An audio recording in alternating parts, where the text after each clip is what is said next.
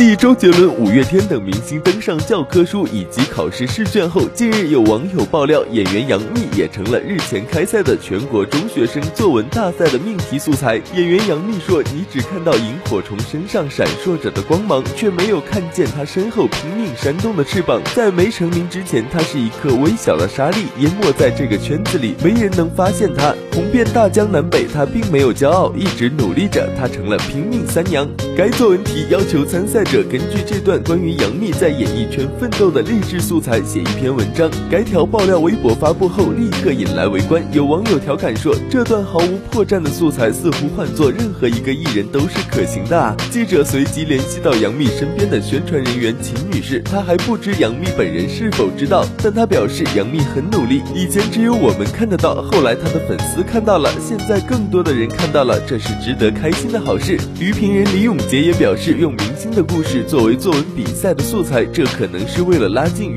参赛者的距离。毕竟这是一个中学生作文比赛，这个年龄阶段的孩子都是熟悉这些明星的。